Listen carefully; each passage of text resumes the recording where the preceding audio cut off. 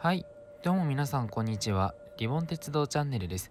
私はですね現在貝塚駅に来ております。久しぶりに貝塚駅に来ましたね。西鉄貝塚線と地下鉄箱崎線が乗り入れる駅となっておりますね。今回の動画はですね地下鉄の方がメインとなっていきます。ということでねよろしくお願いいたします。現在地下鉄の列車が出発しておりますが貝塚駅はですね地上駅となっております。ということでね貝塚駅から300円区間の切符を購入して改札の中へと入っていきたいと思います。ちなみに貝塚からメイノ浜まではですね340円ぐらいかかるので私の目的地がメイノ浜でないことはですね明らかでございます。今回はどの列車に乗るのでしょうか。貝塚駅の駅名表を見ていきたいと思います。ナンバリングの他にもですね貝のイラストが描かれていますね。福岡市地下鉄の全駅においてですね駅ごとに記号というかトレードマークがね取り付けられているそうです。箱崎線の線路が西鉄貝塚線の線路といつでもつなぐことができるといったことはですねまあ有名なことでしょうね。貝塚駅前にはですね西鉄バスも乗り入れておりまして天神薬院方面行きのバスが走っているようですね。福岡タワーまで約1時間をかけて走行するそうです。ということでね発車表を見ていきたいと思います。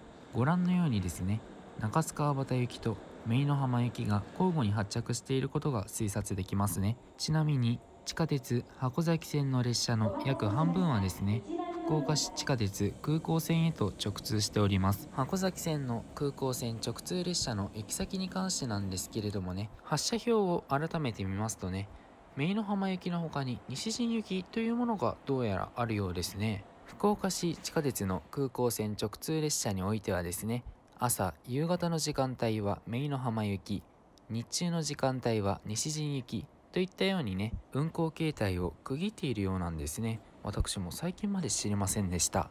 ということでね西陣行きの列車が到着いたしましたので早速この列車へとね乗っていきたいと思います。ちなみにですね JR 筑肥線の車両はですね福岡市地下鉄箱崎線には乗り入れないようですね。福岡市地下鉄の車両が筑前深谷よりも西側に乗り入れるならね箱崎線に JR の車両が来ることもありえなくもなさそうなんですけれどもね。西陣行きと書かれております。西陣行きは天神駅を通るものの姪の浜博多方面には行きません。ということで車内へと入っていきます。発車までしばらく待つことにいたします。本日は鉄をご利用いただきありがとうございます。この電車は西陣行きです。発車までしばらくお待ちください。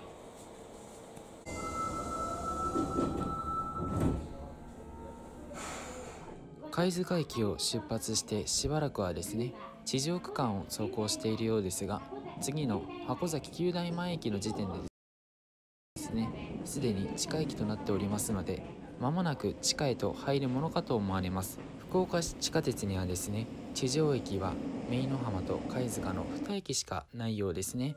この列車は中須川端駅終点ではございませんのでここからは空港線を走行します。中須川端からは天神赤坂大堀公園東神町の順に停車し終点の西陣へとあっという間ながらも到着いたしましたこの列車は西陣駅到着後回送列車となるようですね。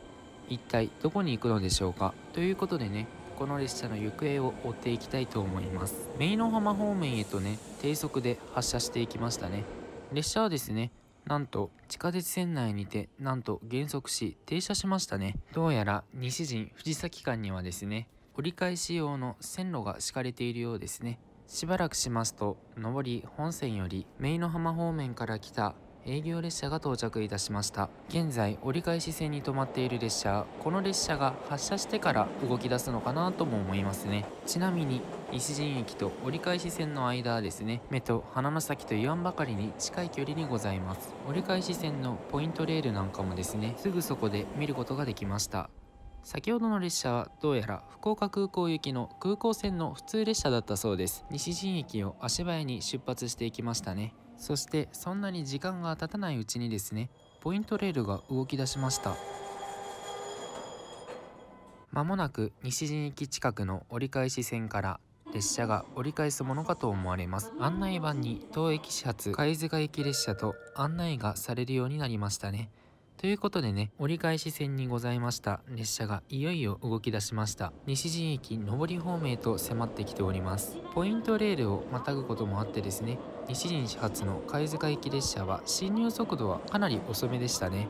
この列車は貝塚から西陣まで来て西陣の折り返し線にて折り返して西陣始発貝塚行きの電車として運行がされています。ちなみに朝夕方の時間帯はですね貝塚線の空港線直通列車は姪の浜貝塚間を折り返すといったような工程を組んでいるそうです。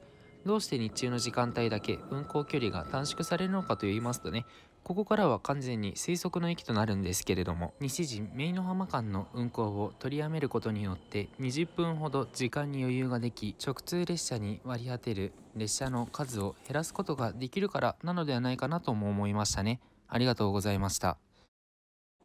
今回はご視聴誠にありがとうございました。おすすめの動画を貼っておりますのでぜひご覧ください。チャンネル登録もぜひともよろしくお願いいたします。右にある私のチャンネルのアイコンからチャンネル登録ができます。